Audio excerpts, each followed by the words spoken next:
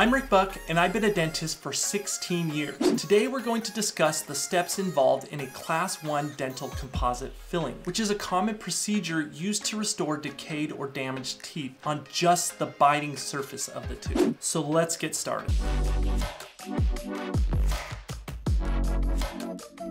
After the patient is numb, we start with the filling preparation, which is a fancy way of saying we are going to drill a slot in your tooth. Now the dentist will use a high-speed drill to do this initial drilling and remove the decayed or damaged part of the tooth to what they think would be an optimal filling. The optimal parameters for each dentist may be different, but typically include at least removing all the stained grooves around the cavity on the biting surface of the tooth. And you want to make it deep enough, which is at least one and a half millimeters, so that the filling will be thick and not break in time. And after I do all of that, you can see the uncovered dental decay. It has more of a brown or in some cases orange appearance than the vibrant yellow healthy portion which is called dentin and is the layer of tooth under the enamel. The dentist will carefully shape and clean the slot or prep to ensure optimal bonding of the dental composite material that we'll get into in just a minute. Now sometimes if the filling is small, drilling these optimal parameters will remove all of the decay as well. However, if drilling to the optimal parameters doesn't remove all the decay as it doesn't here, then we remove the decay with a slow speed drill. The slow speed drill with a round burr or drill bit, if you will, is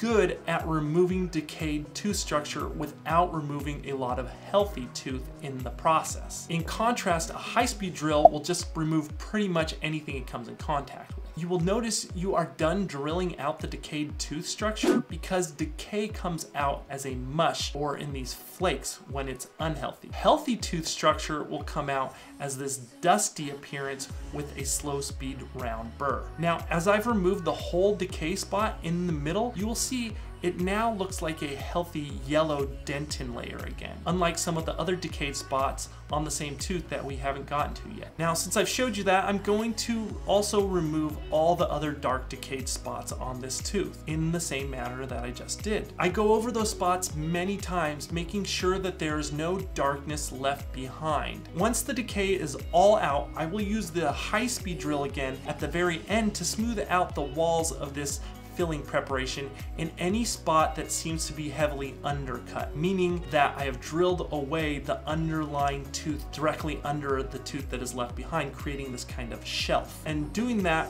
removes these weakened spots that would possibly fracture in time if you didn't smooth them out. Once I feel like all the decay is removed, I use my Explorer to ensure the remaining tooth is as hard as a rock. And that's how Dentin should feel with this metal pointy Explorer of mine. You can also hear how solid the tooth is when I do this with my Explorer. Now that the remaining dentin is hard and healthy and yellow without discoloration, we can move on to filling the tooth up. Next is a step I do on almost every filling that most dentists only do on deep fillings. I apply this first layer, which is a filling liner called GC liner. It strengthens the underlying tooth with fluoride and helps a lot to avoid possible sensitivity. It starts as a liquid, but we light cure the liner and then it hardens into place. After the liner is in place, we etch the surface of the dentin and the liner, which will strengthen the bond of the final filling that we are about to get into. Now, this etchant has a downside. It can possibly make the tooth sensitive, which is one reason I apply the GC liner first. If you put the liner on first, it stops the etchant from causing sensitivity in vulnerable areas of the filling. We then rinse out the etchant after a few seconds. After the etchant is removed, we move on to now the bonding of the filling. Quickly, before I get into the most interesting part,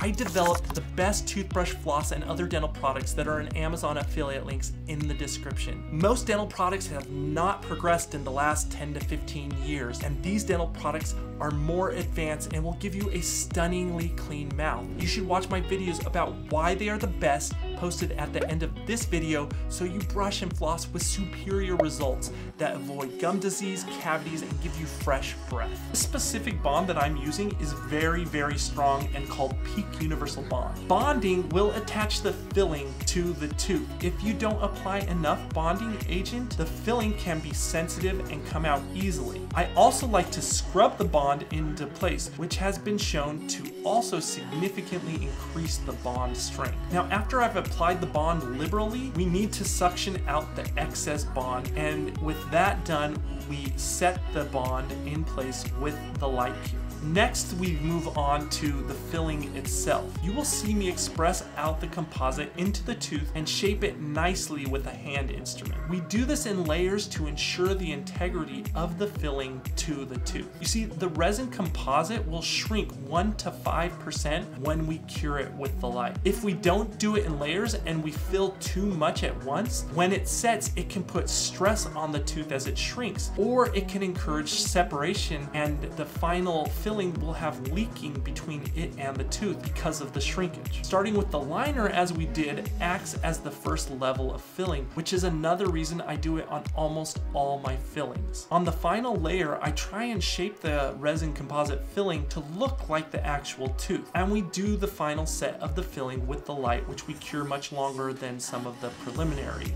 layers. We then use the finishing burrs on the high-speed handpiece to smooth out the filling and get the height of the filling just right. To do this, we will use blue biting paper that will reveal where the teeth bite against each other. So if it is off, you will know exactly where it's off by the blue markings left by the paper. Now, I rarely ever have sensitivity after I do my fillings. And a lot of why I'm doing these steps is more fully explained in my video about how to avoid sensitivity after a filling because there are many ways a filling can cause sensitivity and if you're not careful and if you skip steps, I explain how this happens and how a dentist can avoid those. Once the tooth feels and looks even to the bite, we polish it with the slow speed drill to eliminate the gritty feeling that comes from using the finishing burrs. And that is how we get one nice class 1 composite resin filling.